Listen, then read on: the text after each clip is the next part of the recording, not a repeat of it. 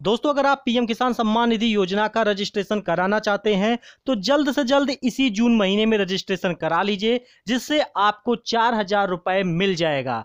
इसी के बारे में बड़ा ब्रेकिंग न्यूज़ है, जिसके बारे में आपको मैं बताने वाला हूँ। इसके साथ ही जिस किसी ने भी रजिस्ट्रेशन कराया हुआ है और उसको अभी तक पैसा नहीं मिला है, उसे भी चार हज़ार रुपए इस महीने मिल सकता है या आने वाले अगस्त महीने मिल सकता है। तो आपको इसके बारे में पूरी जानकारी देने वाला हूँ इस वीडियो में। तो बने रहिएगा वीडियो में अंत तक, क्योंकि पूरी जानकारी से ही आपको फ़ायदा मिलेगा। तो चलिए वीडियो को शुरू करते हैं। दोस्तों, आप इसमें देख सकते हैं ये हिंदुस्तान का ऑफिशियल वेबसाइट पर ये न्यूज़ आई है, जिसमें लिखा हुआ है पीएम किसान सम्मान निधि यानी 30 जून से पहले करा ले रजिस्ट्रेशन तो मिलेगा चार हज़ार रुपए। क्या है पूरी जानकारी? आपको इसमें हम पढ़ के बता देते हैं, जिसमें लिखा हुआ है पीएम किसान सम्मान निधि योजना के तहत अब तक आपने रजिस्ट्रेशन नहीं कराया तो 30 जून से पहले हर हाल में करा ले, ताकि साल की दोनों किस्त आपके खाते में आ जाए। पीएम किसान स्कीम के नियमों के मुताबिक अगर आपने जून में आवेदन कर दिया है तो आपको यह आवेदन अप्रूव हो जाता है। तो जून या जुलाई में आपको दो हज़ार रुपए मिल जाएँगे और इसके बाद आने वाले अगस्त में दो हज़ार रुपए की किस्त आपके बैंक अकाउंट में आ जाएगी,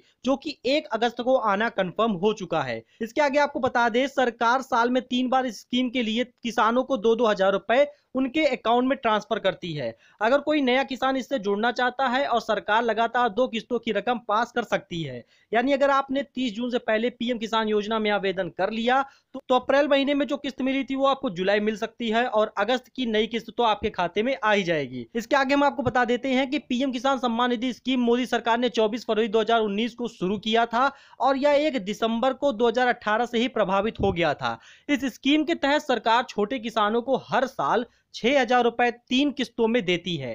पहली किस्त एक दिसंबर से इकतीस मार्च के बीच आ जाती है और दूसरी किस्त एक अप्रैल से जुलाई तक और तीसरी किस्त एक अगस्त से तीस नवंबर तक किसानों के खाते में डायरेक्ट ट्रांसफ़र कर दी जाती है। इसलिए आपसे बताया जा रहा है कि दोस्तों, जून महीने में अगर आप रजिस्ट्रेशन करा लेते हैं और अगर आपका अप्रूव हो जाता है तो आने वाले जुलाई तक आपको किस्त मिल जाएगी और आपको इसका फ़ायदा मिल जाएगा। इसके साथ ही आपको बता दें, आधार कार्ड पीएम किसान सम्मान निधि योजना का लाभ लेने वाले किसानों को आधार कार्ड देना अनिवार्य है। आधार कार्ड नहीं देने पर आप इस स्कीम का लाभ नहीं ले पाएँगे। और वहीं बैंक अकाउंट नंबर भी बहुत ही ज़्यादा इंपॉर्टेंट है। किस्त पाने के लिए आपके पास बैंक अकाउंट नंबर होना चाहिए, क्योंकि सरकार डीबीटी के ज़रिए ही किसानों को पैसे ट्रांसफ़र करती है। आपका बैंक अकाउंट आधार से लिंक होना ज़रूरी है। इस योजना के तहत किसानों को दो हज़ार की किस्त को लेकर कई बदलाव हुए हैं।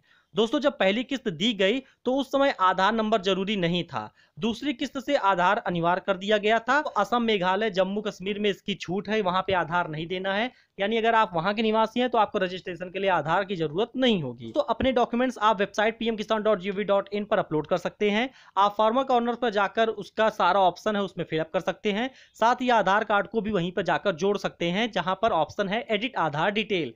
इस ऑप्शन पर जाकर क्लिक करके आप अपडेट कर सकते हैं। आपको बता दें दोस्तों, कई लोगों को लाभ नहीं मिलेगा, उनके नाम आपको बता देते हैं।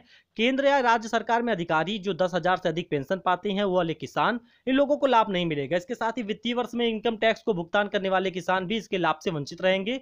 वहीं पर डॉक्टर, इंजीनियर, सीए, वकील, वर्तमान या पूर्व मंत्री, मेयर, जिला पंचायत अध्यक्ष, विधायक एलएलसी लोकसभा या फिर राज्यसभा सदस्यों को स्कीम से बाहर रखा गया है।